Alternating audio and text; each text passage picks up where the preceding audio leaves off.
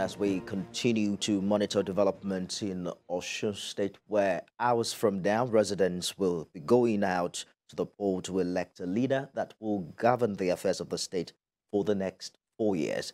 And to ensure the election is free, fair, and credible, the Independent National Electoral Commission is asking electoral officials to stick to the oath of neutrality while discharging their duties in the July 16 governorship election. That call was made by INEC Chairman Professor Mahmoud Yakubu, who encouraged staff and officials to consolidate on the recent successes of the commission. The chairman also assured Osun voters of safety during the poll, saying the commission is working closely with security agents to achieve that.